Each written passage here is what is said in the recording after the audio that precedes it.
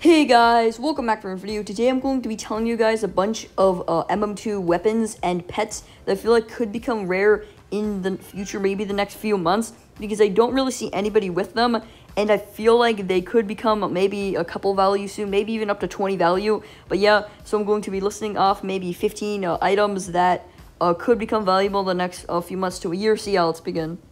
Alright, starting off is the Ghost uh, gun from the 2020 Halloween event. This is the only 2020 Halloween event item on this list because I think this actually might become rare in the future. It's already four legendaries on the uh, MM2 value list, and I feel like it could become uh, more valuable because I don't really see that many people with it. I see a lot of people with the knife, but not really the gun, so I feel like this weapon could become rare in the next year or two. Next up is the zombified gun from the 2019 Halloween event.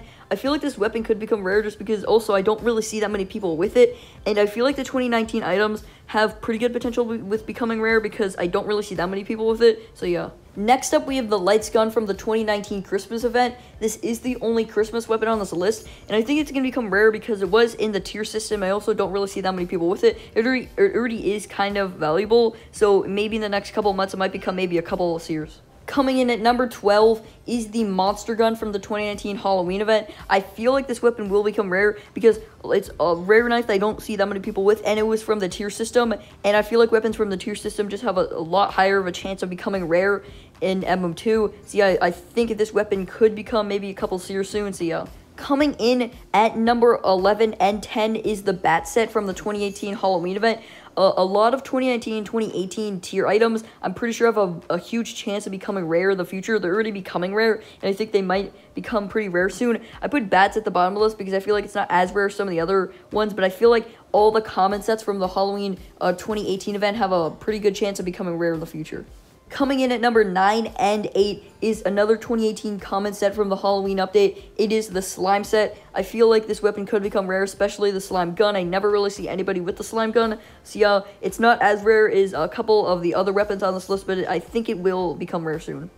Coming in at number 7 is the Zombie Dog from the 2019 Halloween event. It is from the tier system. It was in the tier system. It's only one of two pets on this list. The reason why I think this will become rare in the future, maybe in the next couple months or a year, is because uh, 2019 was the only year with square pets, so it makes it like a lot uh, more rare because it's like one. It's the only. It's one of the only pets in MM2 that's actually square. Also, it's a pretty unique pet. It's actually kind of a cool idea. And then also, it was a common on a higher uh, a tier in the tier system, so that's why I think it will become more rare. Coming in at number six is the vampire bat uh, pet from the 2019 Halloween event. It was also in the tier system. I think this pet will become rare just like Zombie Dog. It is one of the only pets in the game that actually is a square pet. It's also really unique. They uh, basically just took the uh, already existing bat pet in uh, the pet egg and uh, made it a vampire, which is really cool. And it was in the very back of the tier system. So yeah, I do think this pet will become pretty rare in the future. Number of five is the Snakebite uh, knife from the 2018 Halloween event. It was also on the tier system. I might actually just say Snakebite, the Snakebite gun too as the same because I feel like when one weapon becomes rare, the matching weapon also becomes rare. I could definitely see the Snakebite knife becoming rare because I never really see some people with it. It just kind of like a, I just, for some reason, this weapon, when I just see it, I just think it's rare because it just seems rare. It's hard to explain. Alright, coming in at number 4 and 3 is the Haunted set from the 2018 uh, Halloween event. I think this weapon's going to become rare because I just feel like all the commons from the uh, 2019 Halloween event are becoming rare. I just think they are. All the other 2018 uh, items have become rare. The zombie set became rare.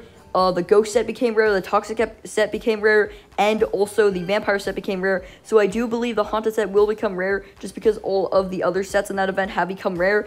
And speaking of those sets, coming in at number two and one is the grave set from the 2018 Halloween event. I just think that all these 2018 items are become are going to become really rare in the future because I just never really see anybody with it, and it's from an event that was three years ago. So yeah, I think that's why they are going to become rare.